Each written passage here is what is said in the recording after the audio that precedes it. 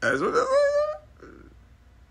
Oh shit, that's HIV. You can't get rid of that. I mean, you you can maintain it just like herpes, but you, that shit ain't going nowhere though, bro. That's fucked up. Um, maybe you should kill that nigga if he was out here cheating on you, homegirl. Fuck that nigga.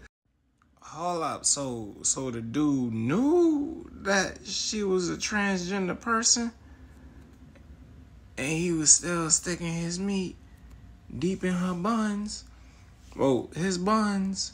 That's fucked up. He got what he deserved. This is the the, the he she and shit. That's that's what that is. That's that's the uh, she male, the transgender person.